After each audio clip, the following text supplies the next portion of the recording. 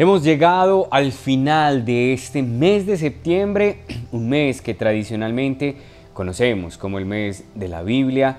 Y qué bueno amigos de Monticello, amigos del buen Dios, que nos hayan acompañado a lo largo de este mes en este camino que hemos recorrido de la mano de las Escrituras, de manera especial de, de la mano del libro de los Salmos, orando y profundizando cada día en estos bellos textos que nos han dejado plasmados el pueblo de Israel, el pueblo hebreo, y que nosotros también conocemos y seguimos gracias a que Jesús, como buen judío, lo recitaba e invitados también nosotros a que oremos con ellos.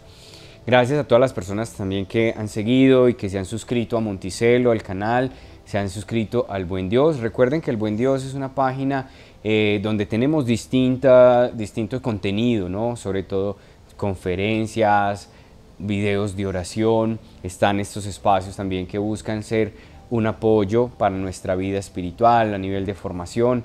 Entonces suscríbanse a El Buen Dios en el canal de YouTube y también el canal de Monticelo.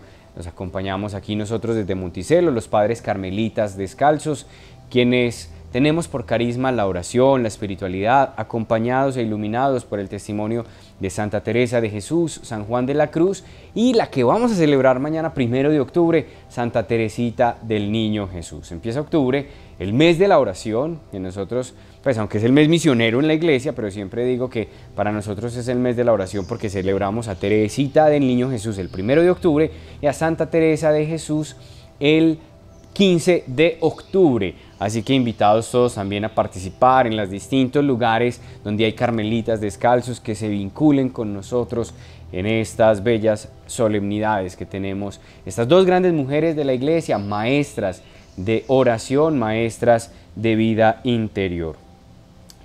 Hoy quiero terminar con un salmo que es la letanía de acción de gracias.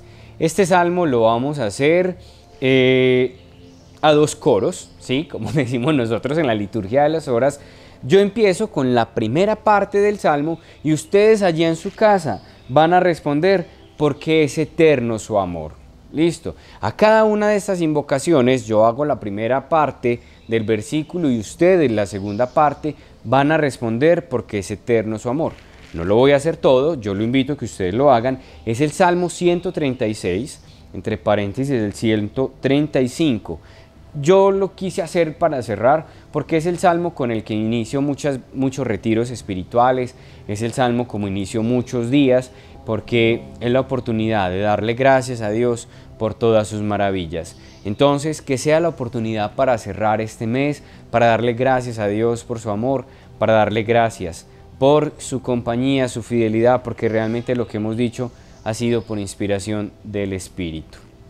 Así que ya saben, aleluya, a cada invocación ustedes van a responder porque es eterno su amor. Den gracias al Señor porque es bueno. Den gracias al Dios de los dioses. Den gracias al Señor de los señores. Al único que ha hecho maravillas.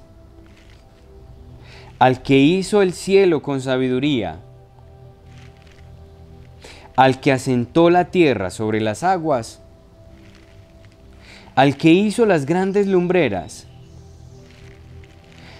al el sol para regir el día, la luna y estrellas que rigen la noche,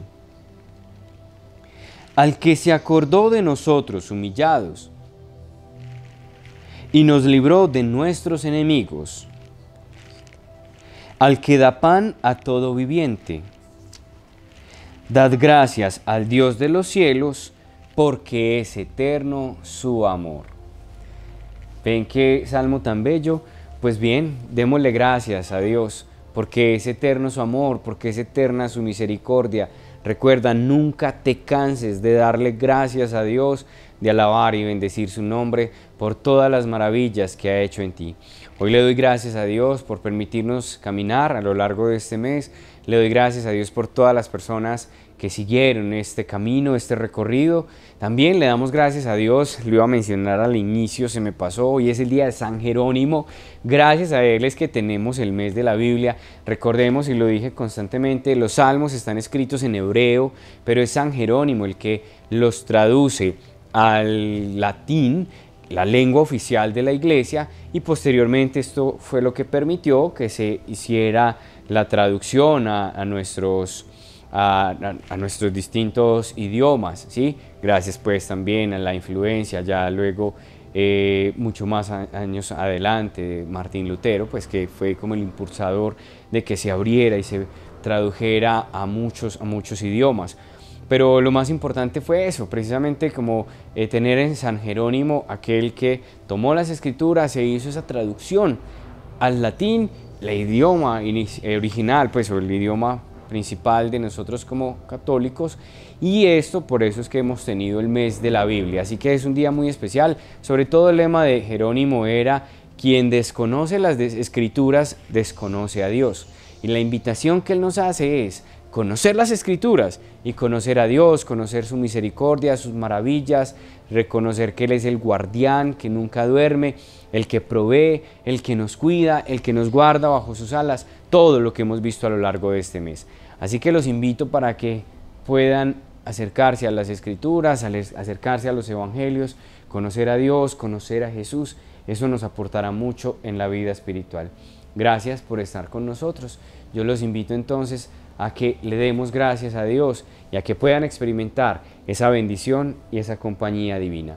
Que el Señor los bendiga, que el Señor los guarde de todo mal que Él ilumine su rostro sobre ustedes y les conceda mucho amor y mucha paz, que Él esté siempre en su camino y que su palabra sea lámpara para sus pasos.